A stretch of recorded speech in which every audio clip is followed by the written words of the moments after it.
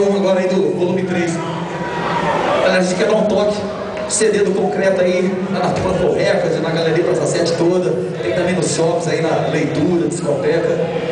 Tem também no nosso site bandaconcreto.com.br, tem notícia da banda, onde está rolando. A galera quiser aí CD, camiseta, tal coisa. Mostrar aí um dos volume 3, o CD predileto do Ted Bronson aqui da Batera. Então vamos lá, justiça.